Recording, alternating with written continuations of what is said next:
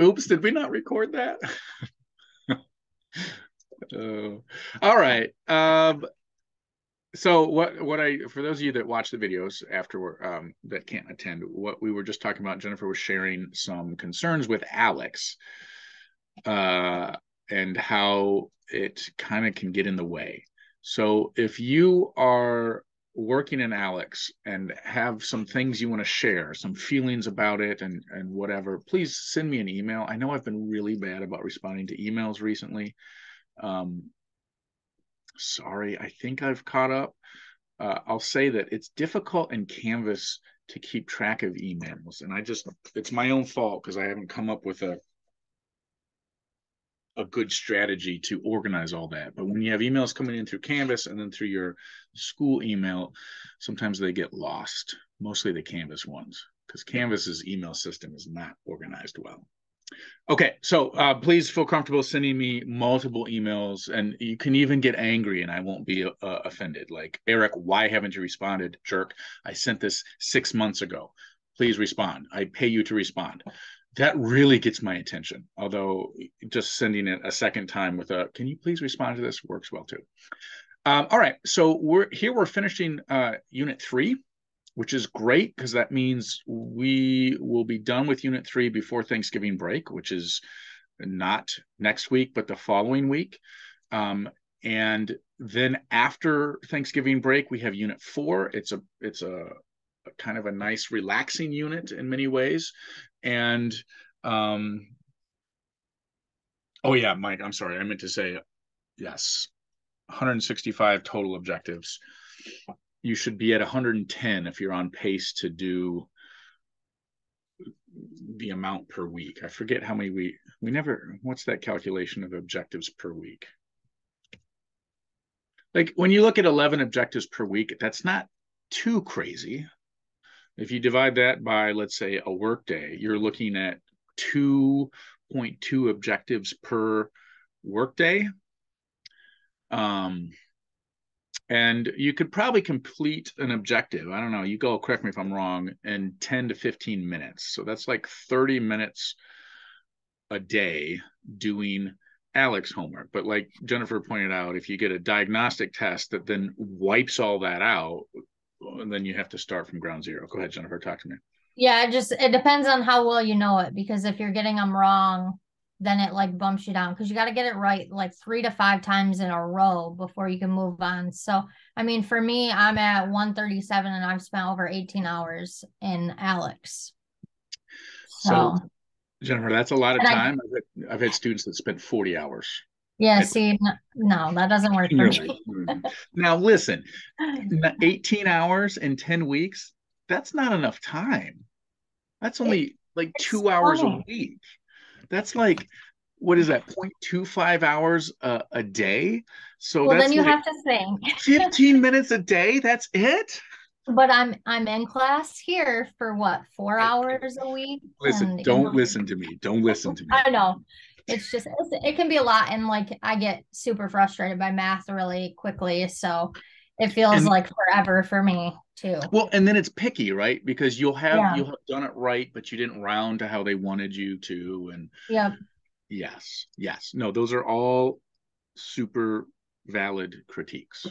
I remember I was at the cutting edge of online homework for a physics class and I hated it. And I remember going in after an exam that I didn't do particularly well. And I asked Dr. Uh, was it Burdick? Dr. Burdick. He was this very serious man with a beard and like a pretty stereotypical physicist. And I was t- completely intimidated by him. I'm like, can you please reopen the online homework so I can redo it? And he just like had this exasperated sigh, like, that homework is there for you to study for the exam. And of course, I'd failed the exam pretty miserably. No, did I? I passed his class. I think I got a B, but that's why I stopped being a physics major. Was that it was calculus based physics? Okay, enough of those stories.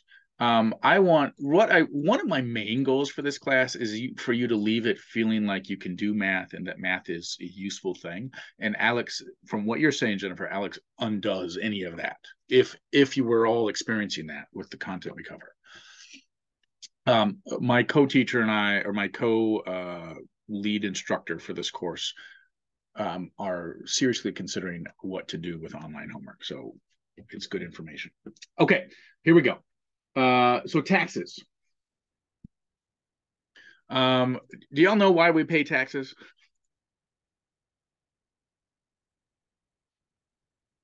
Let's see.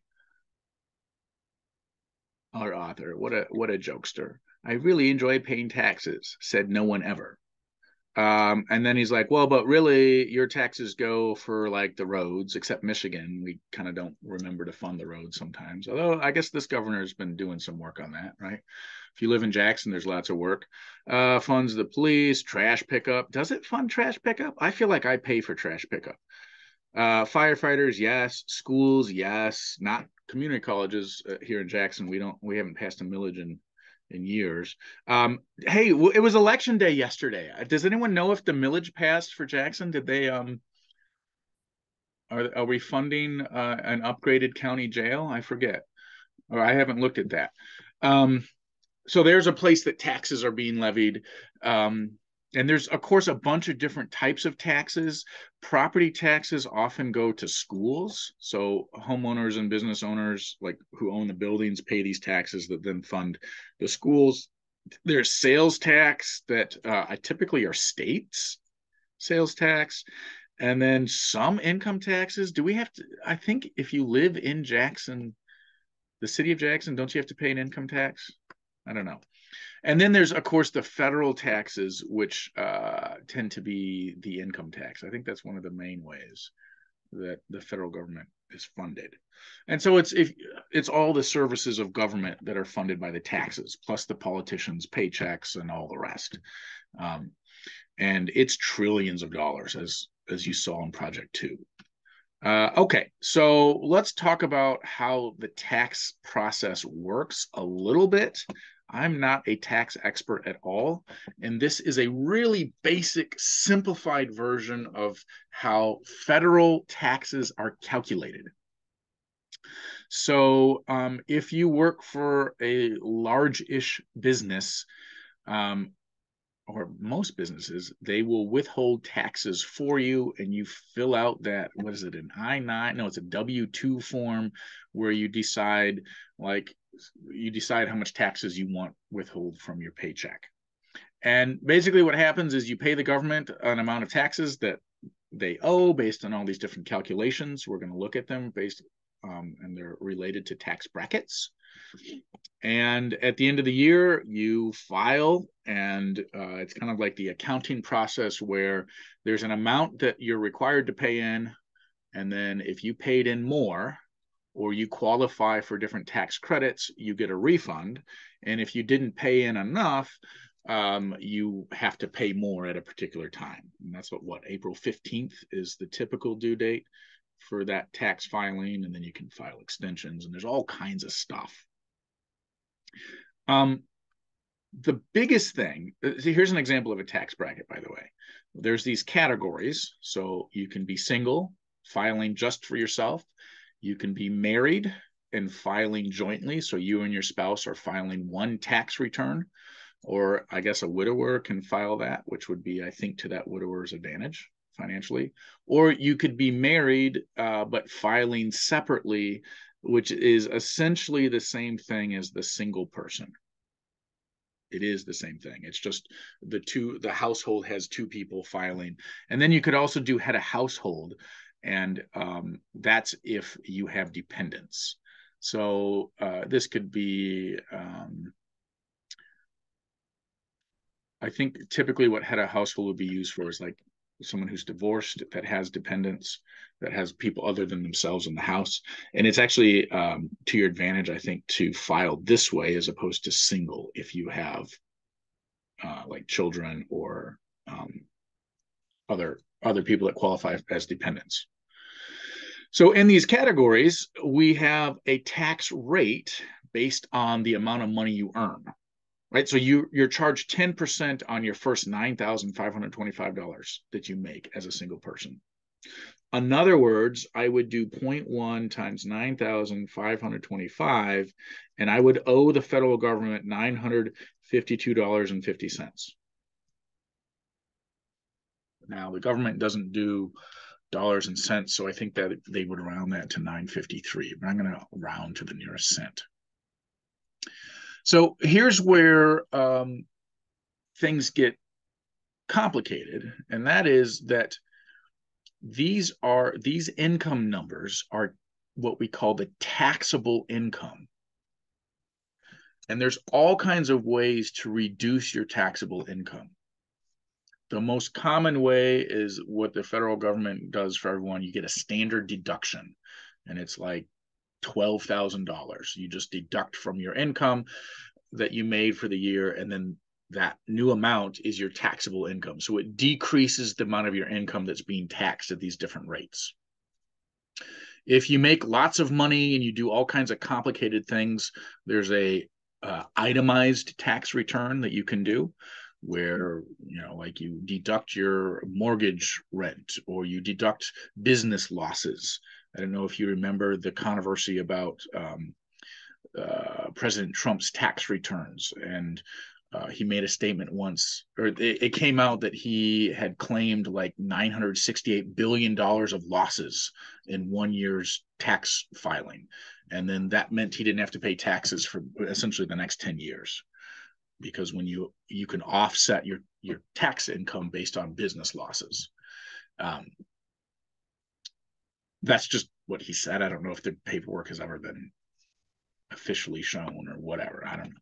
But that's an, that's a, an idea there of where you can reduce your taxable income and that's the goal. Reduce your taxable income to as low as possible so you pay the government the least amount of money. Um,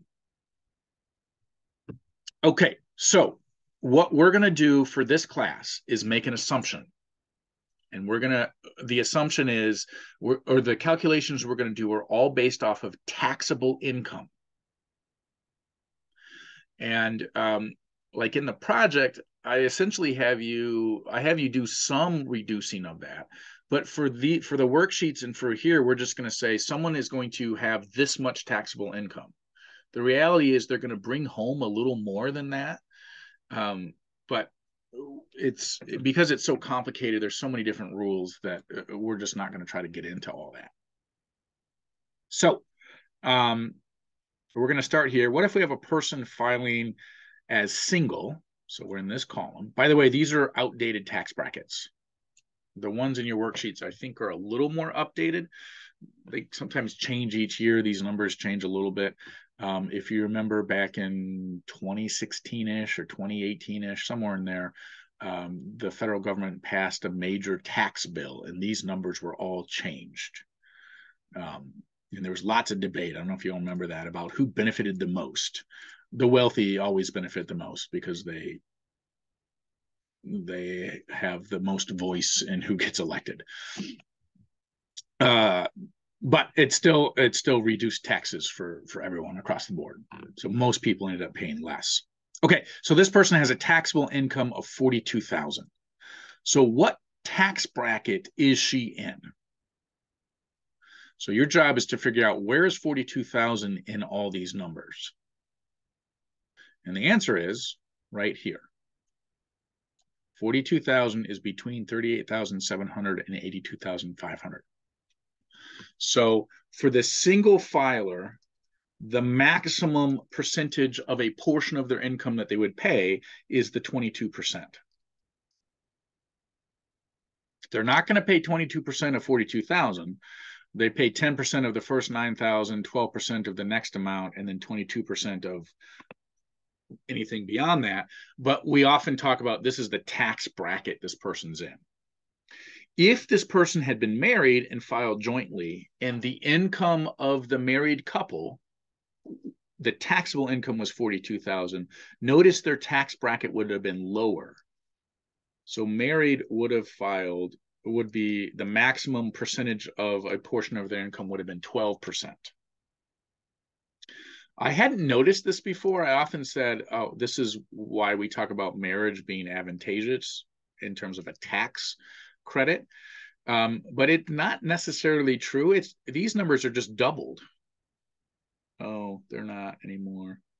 It used to be some of these lower numbers are just twice like yes, 9,525 times 2 is 19,050. 38 times 2, 77. 82 times 2 is this. I believe this is that. This is that. But then here at the 35 level, it gets um, it gets different. Okay, so um, our taxing is called a progressive tax thing, and that is um, we pay percentages of portion, different percentages of portions of our income as we go. So the author talks through here is like, well, if we just use the maximum times the 42,000, this is what we might think we owe on our taxes. $9,240. That's literally 22% of the taxable income. And for the married couple, they would owe $5,040 on their 42,000. Right? So this is this would be the taxes owed. If it was just a flat tax uh, of your income. But what really happens is we get taxed at these different levels. So let me show you how that works.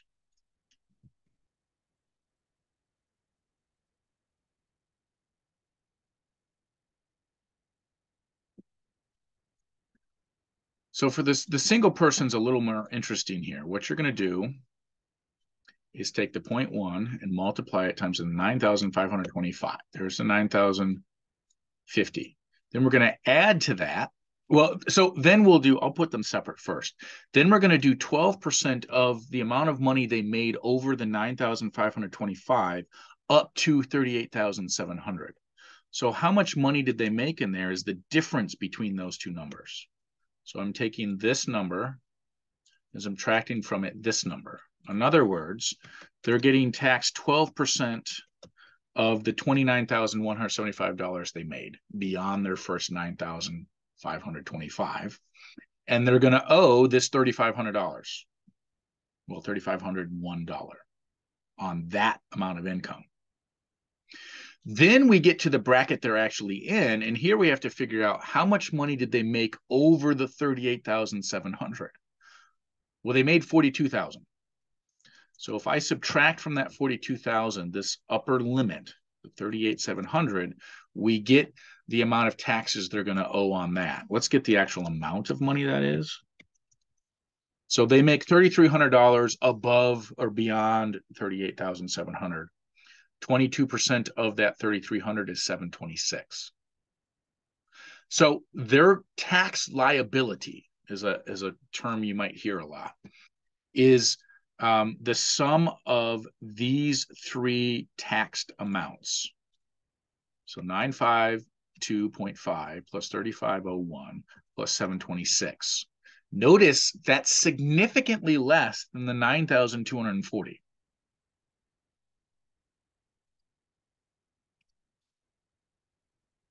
How do you feel about that? Is everyone okay?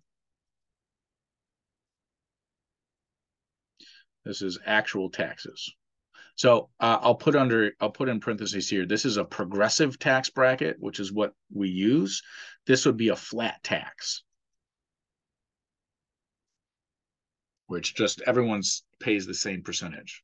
Okay, so let's do the same thing for the married couple. Let's see what is their actual tax liability. Um, so they owe 10% of 19,000 uh, oops, 19,050. And then I'm going to add to that 12% of whatever they make over that. So it's the 42,000 minus 19,050. So they actually owe $4,659.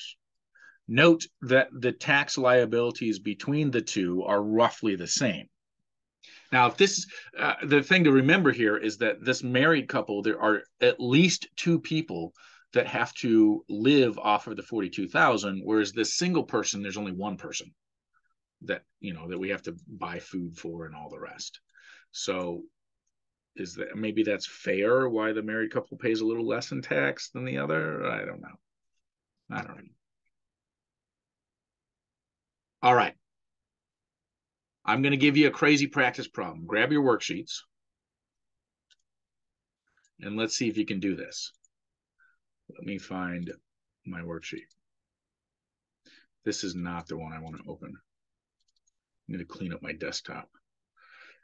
I also need some more coffee. I don't know about you all. Um,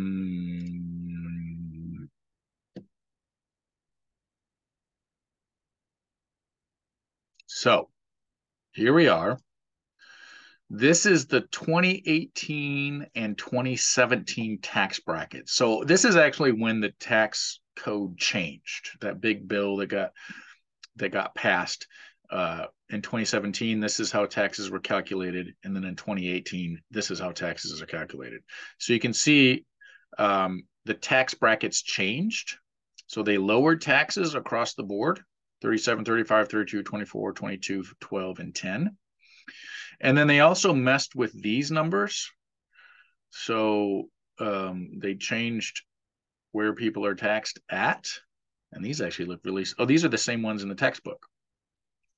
So notice I'm a complete jerk. I'm, I gave you a crazy problem. I want you to calculate the tax liability of a surgeon whose entry level salary is this, and I want you to assume this is the taxable income. I guarantee that's not. I would guess that someone who makes this much money could could get their taxable income down, you know, by 50,000 probably and and save a ton of money that way, but let's just assume this is what they're taxed on. So first question, what is the maximum tax bracket? What's the maximum percentage of tax that they're going to owe on a portion of their income? In other words, where is this number in these brackets? 33%. Okay, you're going to have to do one, two, three, four, five calculations. Note, I'm having you do it for 2017 and then for 2018. So you're going to do it twice. I encourage you to type this in Desmos, kind of like how I did it. You don't have to do it um, one at a time. You could do it all in one line. Uh, where did I where did I do it? Uh, yeah, like right here. You could do it like this one. And then you can see where if you'd made a mistake somewhere or whatever. So try that. I'm going to give you five minutes to do A, and then we'll check our answers together. Okay. Would would we do different parentheses for each time we're subtracting something? Yes, because you Okay. want that percentage times the difference. That's a really good point. And it's always the numbers you're subtracting are always this upper number minus the previous upper number, not the in between. Otherwise, you're not paying on one dollar of taxes. Because he's too young Okay. to run away. Set a time. Set a timer for five minutes.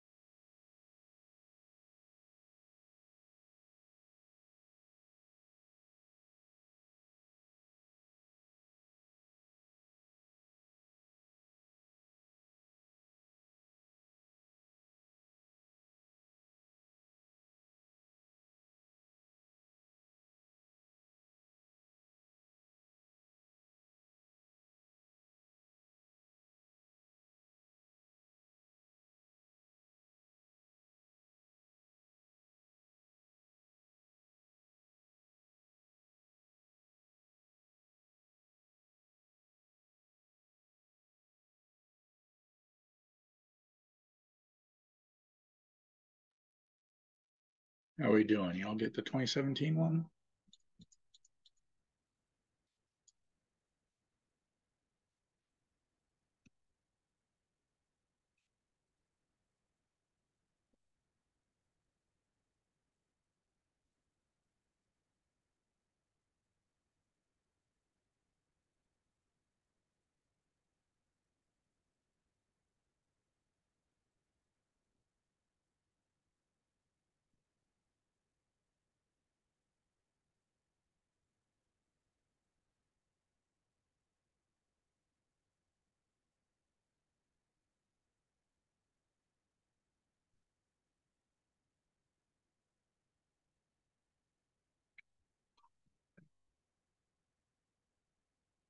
So the part that most student, the one of the more common mistakes I make. Oh, I'll go. Oh, sorry, Mike. I'll, I'll let me highlight what most students. One of the common mistakes is that is when you get to the last bracket where the taxable income is at. Students often forget to put in the income. So at the 33%, we're taking the taxable income, which is this 195, 670, and subtracting from it the previous maximum 191, 650. So this is what I get, and this is how it's all written out. And I'll pause here and let you all check it. Um, so this is the 2017 tax liability.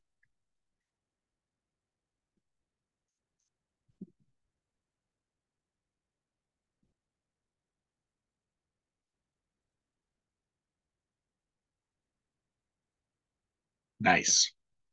Yikes. Right? That's a ton of money.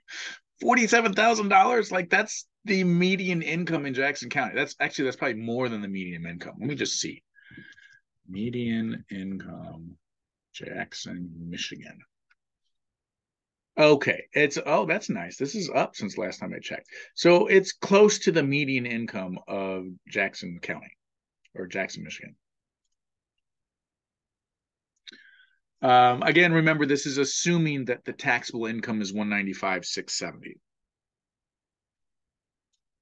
I'm just gonna when you do these problems, you all, um, it's I it's okay to write out. It's good to write out all your work, like what you typed into Desmos. Um, it's also okay not to. Just don't make a mistake. Okay, where's everyone at? Does anyone need more time before I show the 2018 one, or are we good?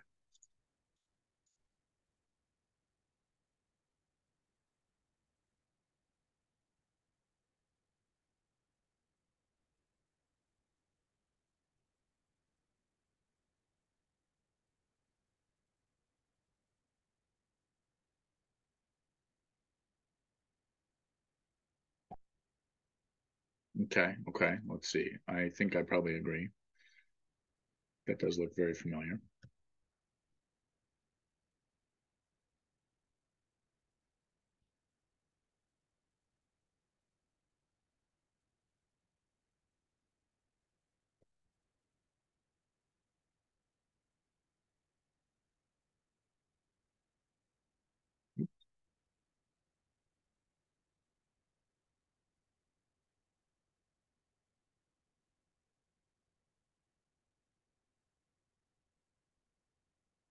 So, um, yes, it's not. It's not.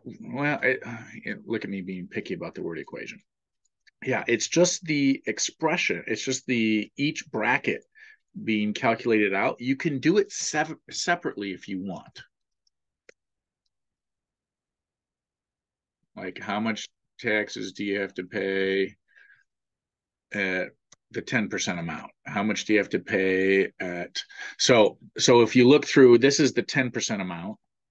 Here's the 15% amount. Here's the 25% amount the 28% amount and the 33% amount.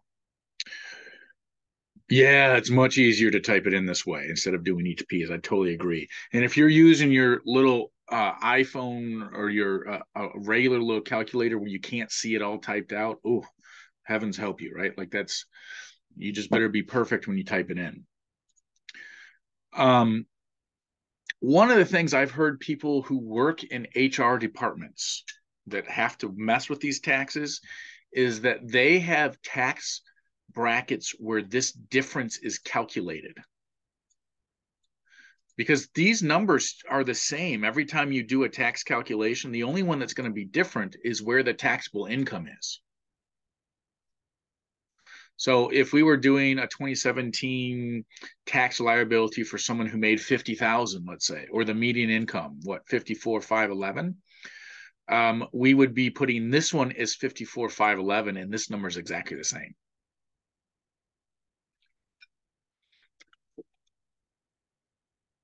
So I don't know. It's just different ways that that people who have to deal with this, people who work in businesses where they have to calculate the amount of taxes to withhold and all that mess, it's just different ways they they deal with that. Okay, so um, one of the reasons I wrote this worksheet back in the day is to have people compare. Hey, what actually happened when that tax law was uh, written into law and the tax code changed? How much does this person save? So if you look at page two, I said, what's the difference in taxes owed from 2017 to 2018? Now, if you remember how to calculate difference or change, it's new minus old. Why am I doing this for you? Take a few minutes and see if you can't do these calculations. This is unit one stuff. Let me do five minutes on the clock and let's see how you do. Set a timer for five minutes.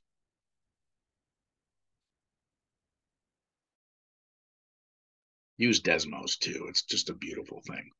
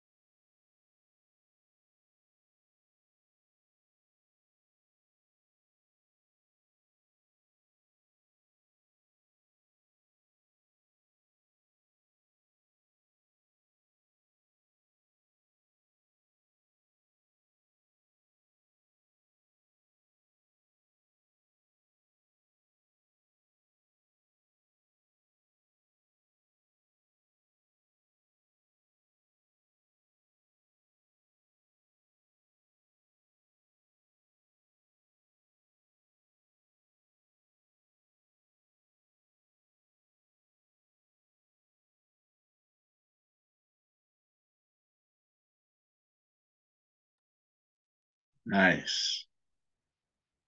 So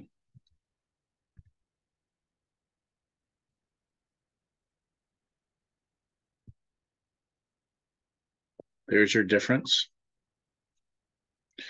So for this particular scenario, the new tax code saved this individual $3,666.45 yikes in tax. And so what was the percent change? So that's this new minus old. If you're forgetting that, it's new minus old divided by old, right? And then that's a percentage, so you multiply it by 100. So I just need to take this thing and divide it by the original amount, 47970.35.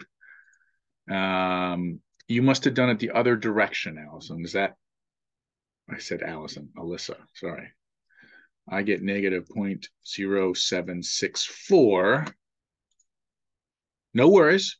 Um, what you would say then is that it was an 8.3 in, in percent increase from 2018 to 2017, which is weird because it's time travel. Oops. Um, oh, come on. Uh, control C. There we go. Control V. Let me just confirm that that's what happened. Um, be this minus 44, 303.9. And then, and control C, control V. Yeah, there it is. So uh, it's not, uh, Alyssa, it's not an incorrect calculation. Uh, it's just when you interpret it, you would have to write a thing that sounds weird. Um, so from 2018 to 2017, it was an 8.27 8% increase in taxes. Um, excellent. I, I got that. I got that, um, but negative. I got 8.3 negative percent. So I think, I'm not sure if I calculated it right either. Let me see. Let me change it. How did you, how does it, um, did you do the 44303.9 minus 47970.35? Um, I did, yeah, 44, 303 minus 47. Did you divide by 47 or 44? I divided by 44. Okay. So that that one is wrong because what you divide by has to be the same thing you're subtracting by. Otherwise you're you're getting a percent of a different thing. Is it uh-huh. new minus old divided by old? Yes. So, oh, you're okay. I got you. I see what I did. Good, good. Which, like, just in case the rest of you are wondering, it's really the 2018 value minus the 2017 value divided by the 2017 value. That's like the the most correct way to do it. Um, but what Alyssa did was the 2017 value minus the 2018 value divided by the 2018 value which gives you a mathematically accurate result. It's just a wacky interpretation. It's a it's a going back in time interpretation. Although another way to you could say that the 2017's taxes are 8.28% higher than the 2018 uh, taxes. That's one way, one option. Cool. Okay. Um, there's one last thing we need to talk about in this section, and then we're we're done. Can you believe that? Um, and that is, or one last thing I like to show you, that is the effective tax rate. All right. So um, let me write some things in Desmos, and we're going to talk about this in Desmos. I'm going to get rid of these percent changes, and I'm just going to make a note here. Let me zoom out just a smidgen and say this: the effective tax rate is the tax liability divided by the taxable income. Um, essentially, this is like the flat tax rate. In other words, it's the flat tax you paid.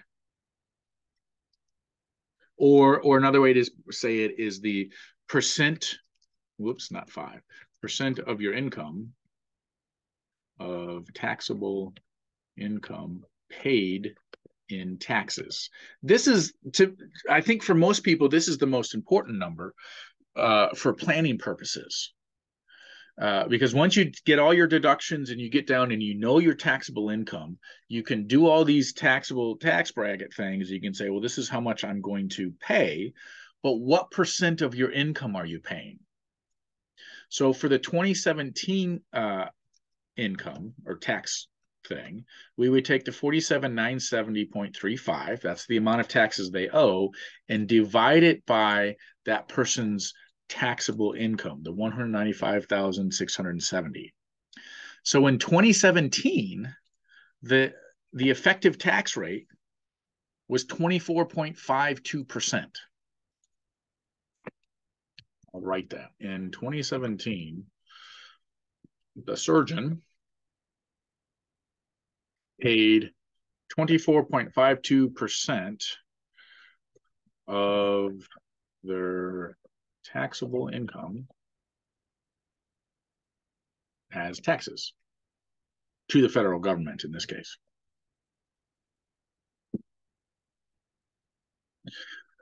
So then what happened in 2018? Assuming that um, person made the same amount of money, which uh, if you remember what was going on, not too many people were getting raises, although I wouldn't have been surprised if a surgeon gets a raise, a raise, raise. then in 2018, whoa, whoa, easy big spender. There we go.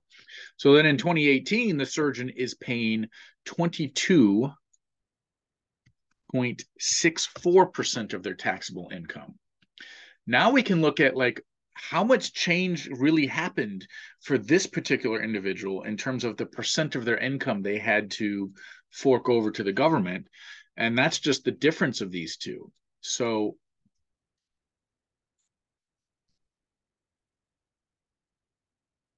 they had a one almost 2% decrease in tax uh, and in taxes paid by their income in their income. So you can look at this and you can think through all these numbers and you can think about like if you're a politician trying to get reelected, which of these numbers are you going to use like if you voted for the tax bill which of these numbers are you going to report to the republic uh, republic to the public to say hey look at how good this tax bill was that i that i passed for you all look i decreased the amount of taxes you owe by 7.64 percent vote me back in because I'm going to keep trying to do that, right? Or maybe someone's like, well, you really, they only decreased a percent of your income that's taxed by 1.87%. Um, right. Yes, I would be saying the 7% for sure. Um, or or you could say, hey, look, the previous government charged eight percent more taxes than the new government that I was a part of that voted in, right? And the fun thing is, each one of those numbers is mathematically correct. And that's where, uh, as a math instructor, what I want you all to learn is how to be intelligent consumers of information. Like, really, if a politician was all about honesty and truth and we talk about like really what's going on we would share each one of these numbers and talk about how they affect uh, how it affects each person and what it all means and here's a complete picture of what happened Whereas instead, you know, you can't blame the politician, right? They're just they're trying to keep their job. You highlight the good things you did and ignore the bad things you did. Minimize those, um, which feels like you're being misled, right? in, in some cases. Um, okay, uh, that's it for uh, taxes for section 3.6. That's really all I cover here. Um, let's do the lesson check before I forget, because I will 100% forget. Um, and I believe we didn't actually do it. Let's see. Let's find out what it is. Why don't I go to assignments? Oh, I have an email to respond to. See, there's there it pops up.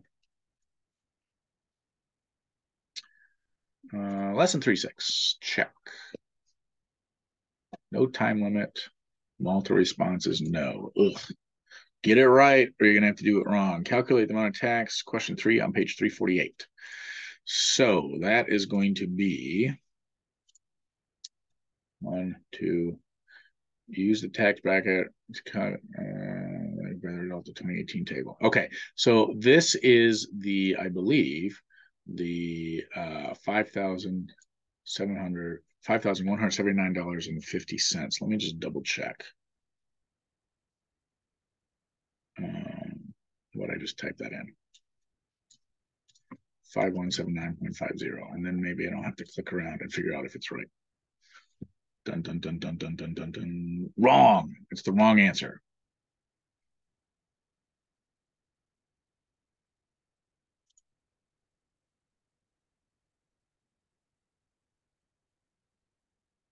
Oh, my bad.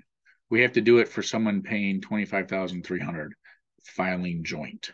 So let's quick get that calculation. That's the problem. So let's go back to our tax bracket here. And the 25,000 filed jointly is going to be here. So we're going to do 0.1 times 19,050 plus 0.12 times the 25,300 minus 19,050. So they're going to owe 2655. That's the correct answer. Um, let me write that down in here. So the 3.6 lesson check, oh, they had it right here, is 2655. Can I can I retry it? Oh, look, there's the correct answer. Maybe you can see it now. Uh, let me fix it just in case you all did put in the answer, the wrong answer and need to do it again. Allow multiple attempts. Thank you very much. Is that good for everyone?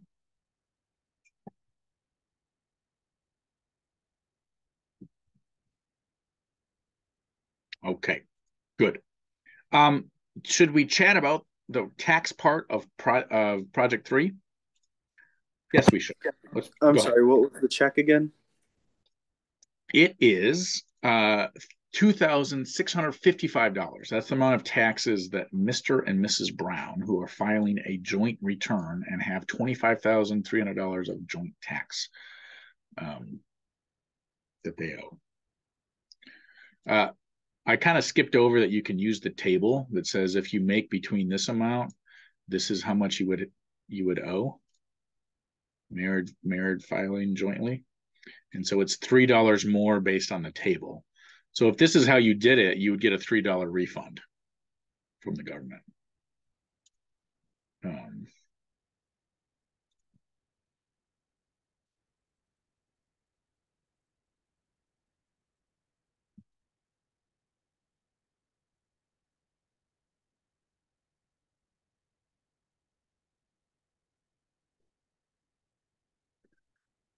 Okay, um, project. Let's chat about the project here.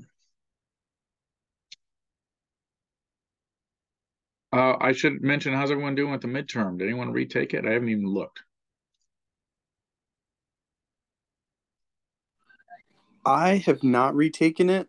Um, here in a minute, uh, I was going to ask if maybe you could show me how to do log mode and finding out the slope and and those things on um Desmos. Oh, definitely. Yes, definitely. Definitely. Uh yeah, let's talk about that.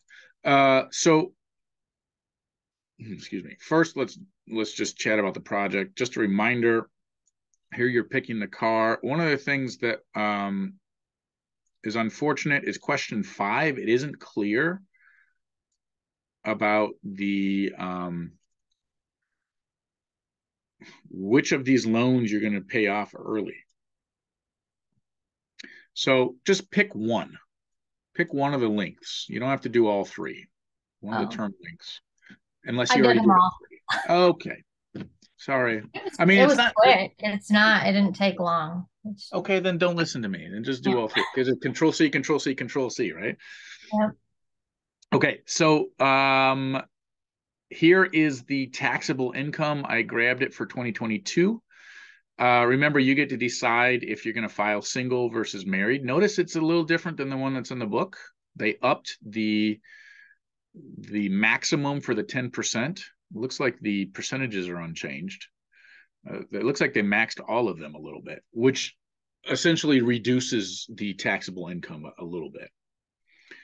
Um, so pick whichever one you want. Doesn't matter to me. Any one of these three. Just make sure you state it. And uh, remember, your the idea here in my head is that you find um, the median entry level income of the job you're heading towards. You don't have to find entry level. Um, you could go for the median salary.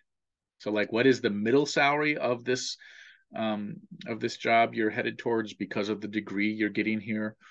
Um, or you could head for the maximum just to see the my goal kind of here at the end of this is to say hey is it worth going to college to get this degree from a financial standpoint?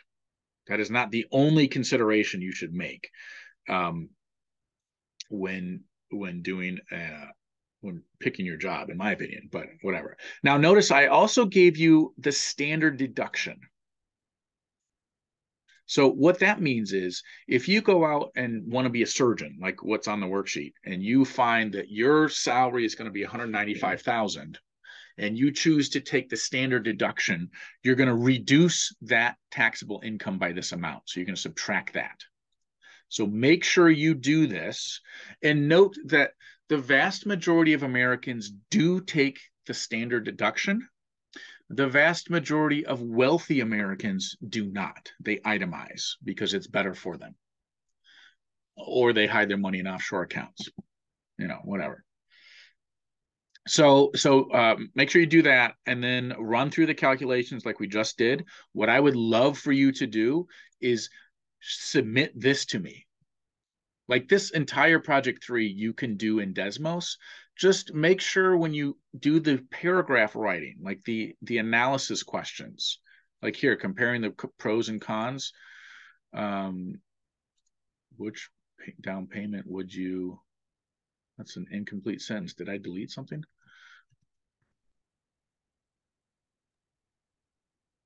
Yeah, for that I just picked which down payment I would choose and why.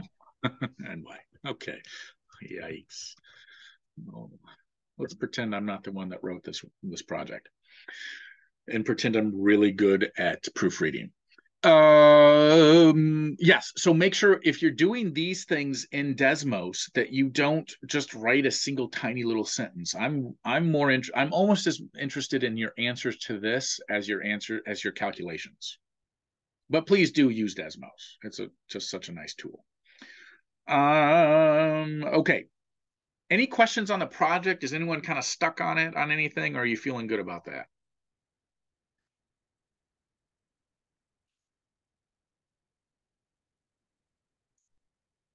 Okay. Um, to those of you that are not excited about this exam, one word of encouragement is that, and I probably shouldn't say this out loud, it's only 10% of your grade.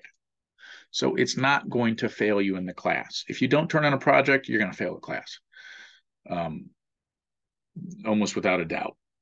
I don't think I've had any. I've had lots of students that don't turn in projects. In fact, right now, about half of my 60 students have turned nothing in, um, which blows my mind. But I I also know that people have lives and things and um, whatever.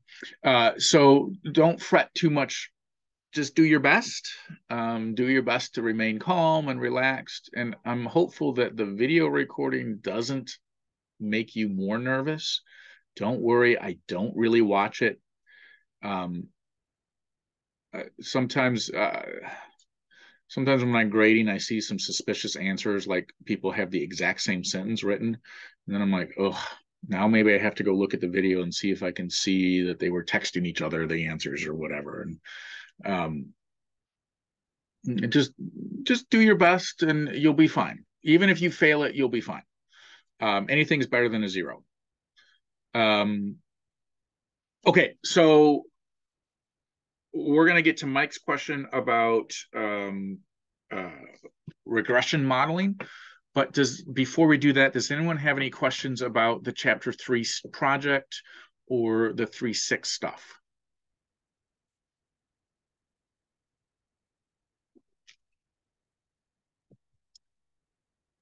All right. So I do have a quick question now that I'm looking at it. Um, Yeah. for the purchase the stock thing, it says like the fee free brokerage app. So like how, what app would I use or where would I find that Oh. on? That's such a great question. Uh, the point there is that you're not paying a commission. Okay, That's all it is. Um, there are tons of apps, like Robinhood is one. Uh, um, there's a bunch of different places where you can buy them. You don't you don't even need to use that. You're just going to go find us. Well, you're going to take the stock that you used for project two as your day zero and see how many shares can you buy.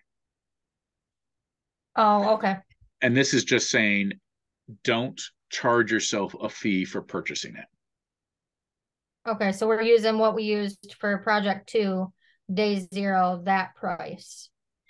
You can pick another one if you want but just go back in time. The what so what i want to happen what i want you to see is like if you purchased this 10 weeks ago or 5 Yeah. weeks ago and then sold it today would you have made money? Okay, and i'm forcing you to sell it at a like you have to pick a day that you're selling it which you might not do it because you lost money. You might hang on to it that's some of the psychology of investing like when should i sell? Like that was what was going on with the gamestop. People were like riding the curve and like oh it's going to get more. I'm going to hang out to get more and more and then it like dropped and they lost tons of money and they could have been millionaires and then they weren't. Same thing with bitcoin. Ooh. that Hmm. one's very volatile. All right, cool. Thank you. you are most welcome. And and don't fret about ALEKS Yeah, spend 15 minutes and do what you can and then move on yeah, I'm gonna do a bunch of it tomorrow while I'm waiting at clinical. So see that sounds like fun it's not the most fun, but it makes the time pass. hey it's better than scrolling the infinite tiktoks right Oh, we can't have our phones on us, so we don't get that option. So oh wait clinicals oh yeah, can't even have our smartwatch. oh man they are hardcore Yep. Is that true like when you're a nurse as well do you know I know, like all of them, because I'm going to school for X-ray. Um, Okay. they, yeah, they all have their phones and their watches. It's just some students from a few years ago abused it, so now we're in trouble for them. so every corporal punishment gotta love it Yep. Yep. Yep. Okay, cool. Um, so Mike, here's what I'm thinking. Uh, based on what you said, I think what you're wanting to see is a data set that we then calculate a linear and exponential regression model from it. Is that correct? Yes. I'm not sure where to um where to be able to type in the equation and then be able to get the log mode and all those things for the exam because like the last part of the exam I missed like five or six or seven questions because they were all on this data set. I was like, oh no. Okay, so let me get to the worksheet and we'll just we'll just grab one of the data sets there. Um, here. This isn't a data set we really didn't. No, that that's not that's not a data set. Let's grab. We'll go to the two one worksheet. Is this a good? No. No, we don't want to do that one. Where's that? This one right here. Okay. So the debt and the per month monthly payment. Um, so yeah, there was a couple places. There's really three places on the exam that you could do this. Um, so what you are doing, uh, this is page, if you want to look at your own stuff, this is page 19. So when I give you a data set and I say find a regression model or find an equation of best fit or whatever, the first thing you do is hit the plus sign and table. And you pull this up in Desmos. And then of course you type in your numbers. Don't do commas. Desmos doesn't like commas. That's a million. Whoops.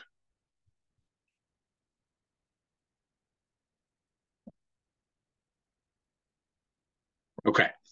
I'll pause there. You let me know when you got your data in.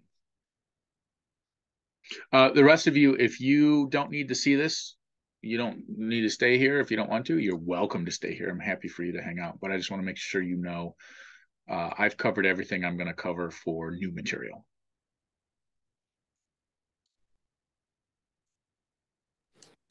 Okay, it might take me a second. I'm gonna pull out my phone and do Desmos. Yeah, take your time. I'm I'm happy to wait. While we're waiting on that, Alyssa, do you? Uh, here's a chat. Um, okay, Jennifer, have a great day. Alyssa, do you have any questions? Totally fine if you don't. Uh, no, I just wanted to see this too. I had the same question. Oh, good, wonderful. So you chime in when you've got it in there too, and it's not a race. You all take okay. your time especially if you're typing in a phone. That takes forever. I'll just do push ups or something.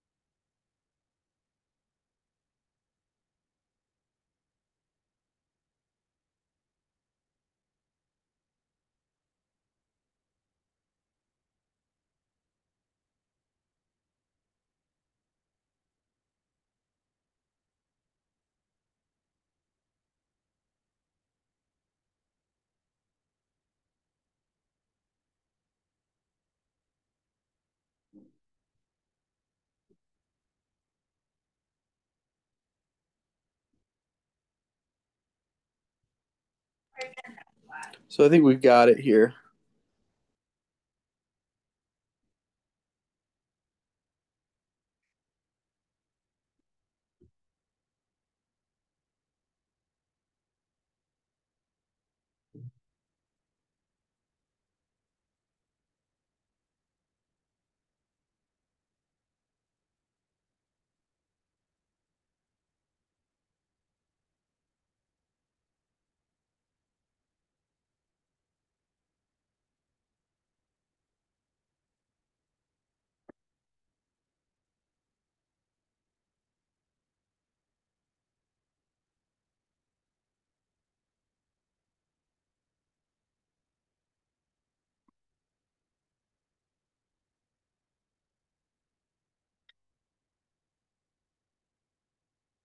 I don't want to rush you, Mike, but maybe you did you say while I was gone that you're good, or are you still typing? Yep, I got mine uh, typed okay. in here. Awesome. So first, I'm going to type in the linear model, also known as the linear regression equation, or just the model. Those are the different words. I forget the language on the midterm, but it was something like that. So what we do is we note these variables up here. And that's what we're going to use. And then remember that the equation is generally speaking y equals mx plus b. So we're just going to use these labeling so that Desmos knows to pick these values when they when it does the regression. So y hit one and it automatically does that subscript. And then since I know you're using your, at least Mike, you're using your phone, you're going to click this keyboard or keypad thing and then go to the ABC part and use this tilde button. It's also shift the button above tab.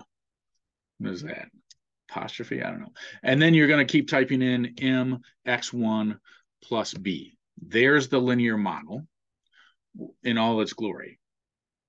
Notice this is the exact model. This is exactly aligned. In fact, if we, I don't know why I don't have this full screen if we do the zoom fit thing, you can see that every single one of these data values are on that line. So this is the best model. But uh, that's not always the case. Sometimes they're sort of close, but not exact. And that's the point of doing this. So let me pause there and make sure you all are, let me know if when you have this in your thingy. So I've got that typed in, and it it does pull up the R value and the M and B values too. Perfect. Now, the exponential model, generally speaking, is this thing: y equals ab to the x. Now, we we if you got this result, you would be done. You wouldn't need to type in the exponential model because it's not going to. If the linear model is perfect, the exponential model will not be. But your job in the project two and on the exam was to determine which one is it. So you type in the same thing, y1 tilde, but this time you put in the exponential equation ab raised to the x1. And you should get all this. And then this is where, Mike, what you're referring to, the log mode, you've got to click this so that we can compare the R values directly. And it's the reason what's happening is the calculator is using a slightly different method for generating these parameters for finding the equation, whether you're in log mode or not. So what we've done in class is always use log mode so we can directly pick compare between the two. This R value is good. 0.9264 is a good model but it's not the best because R is exactly one. Let me know when you got that. I've got that, and and the the best one is going to be the one closer or to or is exactly one, right? Closest to one or exactly one or negative one if it was decreasing. Yeah. Okay. Alyssa, how about you? Are you good with this? I think so. Um, I maybe I'm wrong, but in the uh midterm, I think I was confused because we didn't have like a table already to like type in. So does it still work without having a table? Correct, it does not. So there are two types of problems on the midterm, right? There's ones where I give you a data set and you have to write the equation, and there's others like on the review where well, that's not the review, where I give you information about A and B or M and B, and you have to write the model yourself, which is what one of the things I, before we move on to that, actually, you need to be able to take this thing and write it. So the correct answer here, um, if you were to write down the equation rounded to say two decimals, you would do y equals the m 0.01 times x plus 0.15. That is the model if I said find the model round the parameters to two decimal places. If it was the exponential model, you would write y equals 88.71 times 1 point, in this case, you have to put in all the values, 0, 0, 3 raised to the x value. Does that make sense, y'all? Yeah, that makes sense. Okay. I'm good so here. This, Yep. and and then then I ask questions later that says, well, if x is 17, what is y? Really, I say if your uh, if the amount you borrow is 200,000, what will your monthly payment be? And that's where if you do something like f of x, what we did um, as we said, F of 200,000. So here we're using the model now, and your monthly payment would be $2,000 a month. That's how much you borrow. And the other things we did was like interpret the slope, interpret the y-intercept, interpret um, the growth factor, that kind of thing. Go ahead, Mike. So if I do, so if I have to find a y value or an f of x va- value, I have to first type in the equation, right? Yes, yes, most definitely. And can I see that equation again? Mm, yes. Note I'm pulling the the numbers here, the parameters from what it says the parameters are. And notice I know where to put them based on the letters. The m is multiplied times the x, the b is added. And then down here, they're just multiplied together. And Um, one of the other tricks, go ahead.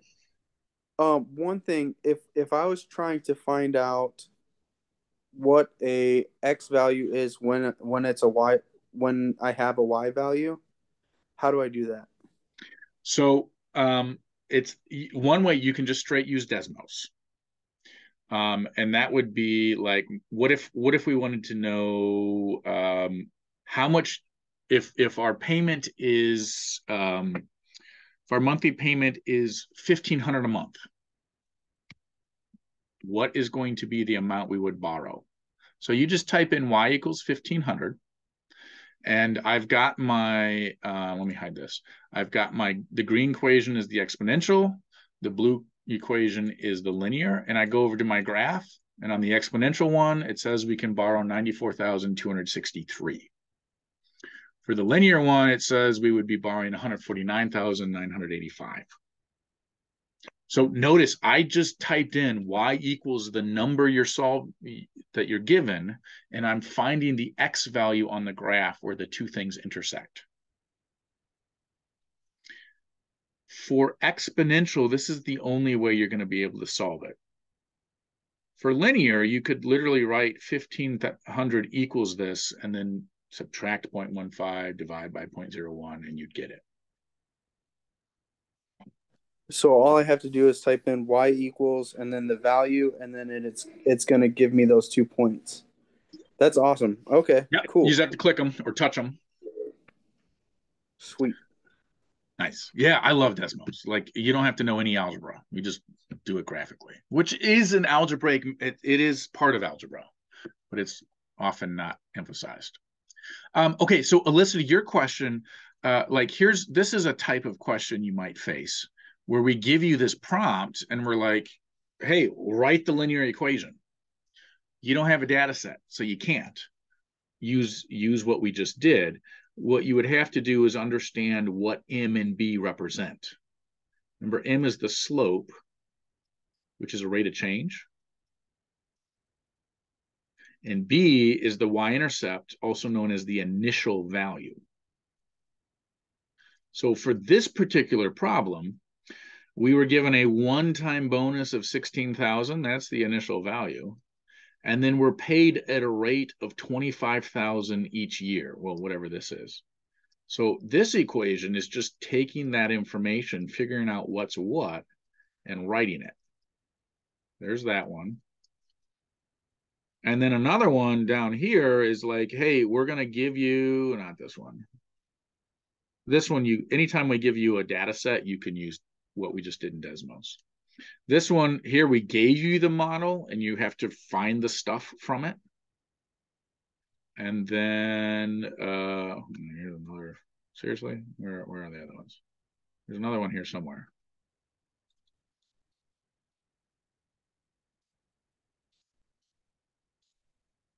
Hate how slow my computer is. No, there isn't another one. We had to write the model on this review. I think there was one in the that we did together in class. There. Ugh. Not that one.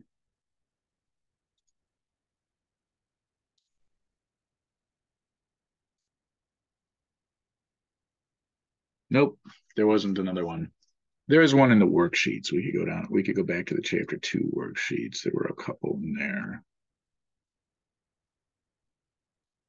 Where is it? Um, so here's another linear one. And then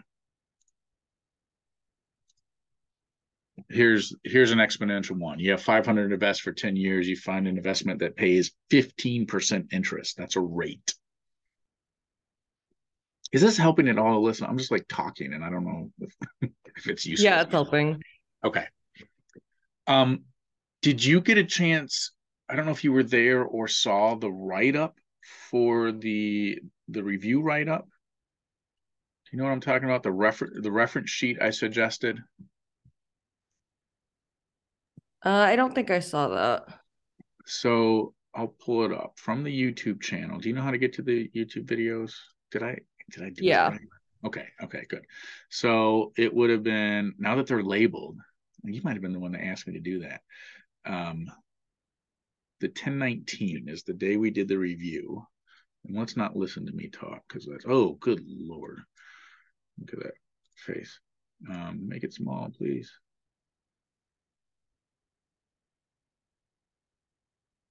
Um, good. We don't have to see me anymore. Somewhere in here, I swear I did a write up. No. Yeah, here we go. So right around pay, uh, minute 851, I started writing. Jeez, is it already done? Where is it?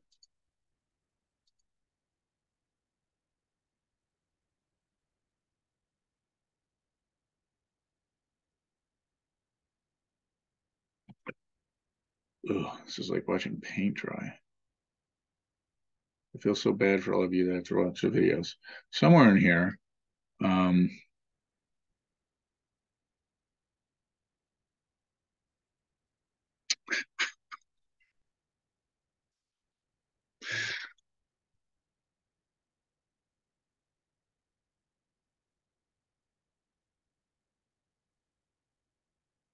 Okay, there I wrote it at some point. I just can't find where it was. Um, oh, here it is, around minute 70. Here it's here it's filling up. Um, so I I write out here's the exponential, the linear. Th- this is where I'm like, hey, this is what you should have when you sit down for the exam, a reference sheet that looks like this for for all of the questions from unit two. And uh, I'm defining all the things. I don't know how helpful it is uh here we go. Um we go back one. There's like this whole there's what the a's and b's and how you can write it in function notation. Oh it just looks beautiful now when i'm looking at it even though it's awful to watch. And i did the same thing for unit one the unit one review where i wrote up here's all the stuff you should have on a sheet um, to help you work through the midterm. We'll do the same thing for the final for units three and four